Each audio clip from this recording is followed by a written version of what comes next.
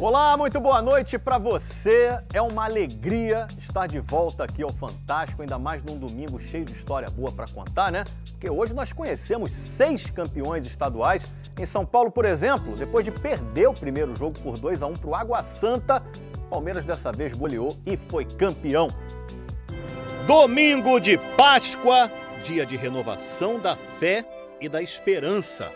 No caso do palmeirense, acreditar na virada para cima do Água Santa. Quem vai ser campeão? Todo mundo junto! Foi dia de lotar o estádio em família, encher a arquibancada e o gramado de crianças. E foi com os garotos que o Palmeiras foi buscar o título. O Gabriel Menino fez o primeiro. Mas com jeito de gente grande.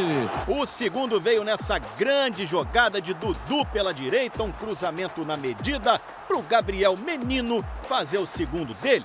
Que drible do Dudu, uma coisa maravilhosa, né? 2 a 0 que já dava o título para o Palmeiras. Mas ainda no primeiro tempo, Hendrick, que só tem 16 aninhos, fez o terceiro no rebote. O Palmeiras Santa. E no fim, o argentino Flaco Lopes fez o quarto para sacramentar o título de vez. 4 a 0. Palmeiras bicampeão paulista com estilo, nos lembrando que domingo de Páscoa também é dia de chocolate.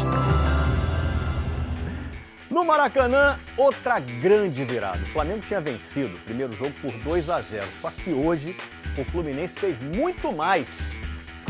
A goleada começou nessa jogadaça do Marcelo. Chute no cantinho e 1 a 0 Flu. Aí o Fluminense veio na jogada trabalhada que ele gosta de fazer. Pé em pé. Cano, 2 a 0. De novo Cano. O Santos pegou o pênalti, mas no rebote, o Cano foi de carrinho para fazer o terceiro. E teve mais. Alexander pegou o rebote e chutou forte para fazer o quarto. No finzinho do jogo, Ayrton Lucas ainda diminuiu para o Flamengo e nem comemorou. Final 4 a 1. Fluminense bicampeão carioca em cima do maior rival. Ainda pelo Carioca, o Botafogo venceu o Aldax e ganhou a Taça Rio. E é disputado entre os times que ficaram entre quinto e oitavo no campeonato. Lucas Fernandes e Gustavo Sauer fizeram dois gols cada para o Botafogo.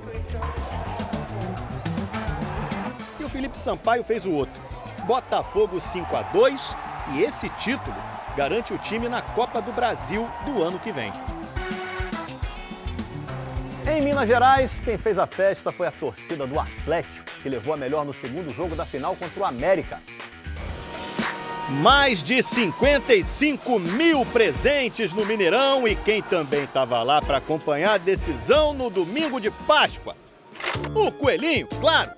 No caso, um coelhão, né? Forte, ó. Mas hoje no América, só o mascote estava forte. Pênalti pro Atlético. E aí apareceu o fortão do Galo para decidir.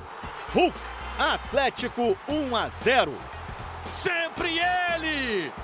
Do herói do Atlético! E adivinha de quem foi o segundo? Hulk de novo. Atlético 2 a 0. De esquerda mandando pro gol. Então, brilha mais uma vez Hulk.